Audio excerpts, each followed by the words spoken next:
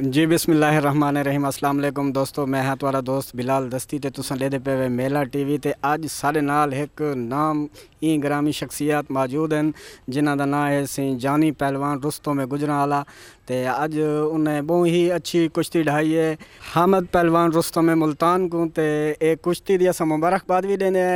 ਹੈ ਜਾਨੀ ਪਹਿਲਵਾਨ को ਤੇ ਇਹ ਕੁਸ਼ਤੀ ਦੇ ਹਵਾਲੇ ਨਾਲ ਤੇ ਡਾਲੇ ਕਾਦਰੂ ਦੇ ਅ, ਮੇਲੇ ਦੇ ਹਵਾਲੇ ਨਾਲ ਕੋਈ ਗੱਲ ਗੱਲ ਕਰਨੇ ਹੈ ਅਵ- ਅਸਲਾਮ ਅਲੈਕਮ ਜੀ, ਮਿਹਰਬਾਨੀ ਤੁਹਾਡੀ ਕਿ ਤੁਸੀਂ ਮੈਨੂੰ ਮੁਬਾਰਕਬਾਦ ਦਿੱਤੀ ਹੈ ਕੁਸ਼ਤੀ ਦੀ। ਤੇ ਮੇਲਾ ਟੀਵੀ ਇੱਕ ਬਹੁਤ ਅੱਛਾ ਚੈਨਲ ਹੈ ਜੀ। ਤੇ ਜਿਹਦੇ ਤੇ ਬੰਦਾ ਘਰ ਬਹਿ ਕੇ ਵੀ ਕੁਸ਼ਤੀਆਂ ਵੇਖ ਲੈਂਦਾ। ਤੇ ਜੀ ਇਹ ਬੜੀ ਅੱਛੀ ਕੋਸ਼ਿਸ਼ ਕਰ ਰਹੇ ਨੇ। ਤੇ ਜ਼ਿਆਦਾ ਤੋਂ ਜ਼ਿਆਦਾ ਨੂੰ ਲਾਈਕ ਕਰੋ ਤੇ ਸਬਸਕ੍ਰਾਈਬ ਕਰੋ। ਏਡੀ ਸਾਹਿਬ ਨੂੰ ਵੀ ਕਹੋ ਜਨਾਬ। ਬਿਸਮਿਲ੍ਲਾਹਿਰਰਹਿਮਾਨਿਰਰਹੀਮ। ਇਹ ਸਾਡੇ ਸਰਾਇਕੀ ਵਸੇਬ ਦੀ ਇੱਕ ਜਬ ਸ਼ਕ ਪਹਿਚਾਨ ਹੈ। ਕੁਸ਼ਤੀ। ਇਨਸ਼ਾਅੱਲਾ ਅਸਾਂ ਹਰ ਸਾਲ ਇਹ ਮੇਲਾ ਕਰਨ ਰਸੂ ਆਪਣੀ ਦਰਬਾਰ ਸ਼ਾਬਰੀ ਸ਼ਹੀਦ ਦੇ ਦਰਬਾਰ ਦੀ ਖਾਤਰ, ਆਪਣੇ ਬਜ਼ੁਰਗਾਂ ਦੀ ਯਾਦ ਦੀ ਖਾਤਰ, ਇਨਸ਼ਾਅੱਲਾ ਇਹ ਤਾਹੀਆਤ, ਜੇ ਤੱਕ ਅਸਾਂ ਜਿਸੂ ਔਰ ਸਾਡੇ ਬੱਚੇ ਨੂੰ ਵੀ ਹਦਾਇਤ ਕਰਕੇ ਜਾਸੂ ਇਹ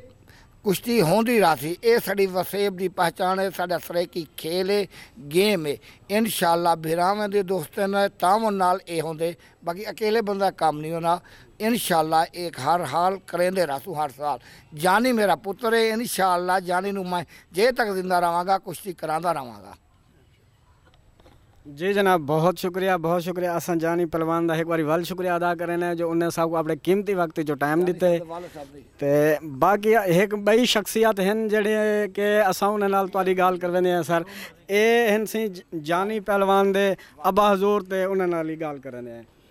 ਰਹਿਮਾਨ ਰਹੀਮ ਮੈਂ ਬੜਾ ਖੁਸ਼ ਹਾਂ ਜੀ ਇਹਨਾਂ ਨੇ ਸਾਡੇ ਨਾਲ ਬੜਾ ਤਾਮਨ ਕੀਤਾ ਮੇਲੇ ਵਾਲਿਆਂ ਨੇ ਵੀ ਤੇ